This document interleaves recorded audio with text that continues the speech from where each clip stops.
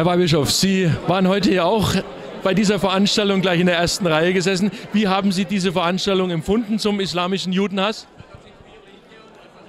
Naja, einerseits sehr wichtig und notwendig. Ich meine, ich frage mich ja überhaupt, wie man den Koran über die Grenze lassen kann.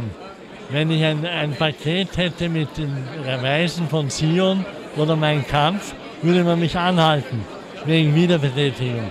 Und den Koran lasst man herein und überhaupt nicht zur Sprache gekommen ist, dass die Muslime ja beim Hitler mitge mitge äh, Truppen geschickt haben.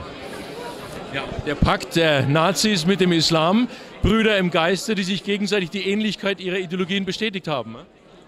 Und wissen Sie, was ich vermisst habe? Einmal ein Seiten, ein sanftes Wort, das habe ich mir erst gestern im Internet erforscht über den unglaublichen Antisemitismus der Russen, auch ganz prominenter Russen bis hinauf zu Gogol und Dostoevsky waren Antisemiten. Davon ist überhaupt nicht reden. Weil der Gulag wird ja auch verschwiegen. Das ist ja die andere Ungleichgewicht. Und dann hätte ich einmal gerne gehört äh, die Kritik von Josef Roth, der hat den Antisemitismus so formuliert. Sie prügeln den Moritz Finkelstein aus Breslau, aber sie meinen den Juden aus Nazareth. Und sie werfen, sie werfen äh, den Juden nicht vor, dass sie Jesus gekreuzigt haben, sondern sie werfen ihnen eigentlich vor, dass sie ihn auf die Welt gebracht haben. Da, da geht es ganz tief, ja? Das, das ist eine andere Perspektive.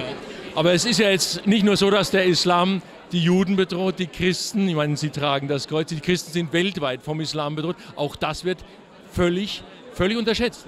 Vermissen Sie es auch, dass kirchliche Würdenträger etwas zu der Christenverfolgung in islamischen Ländern sagen? Da hört man ja fast nichts. Ja? Es ist auch schwierig, was zu sagen, weil Sie wissen das als Journalist ja auch. Das Selbstverständliche kann man schwer anbringen. Sie haben es auch selber erlebt, dass Sie kritisch sich zum Islam geäußert haben und dann von äh, Ihrer eigenen Kirche von angegriffen wurden, ja? Nein, wenn man weiß, was der Mohammed alles gemacht hat, selber Kriege geführt, Leute ausgerottet und äh, dann muss man das doch sagen dürfen.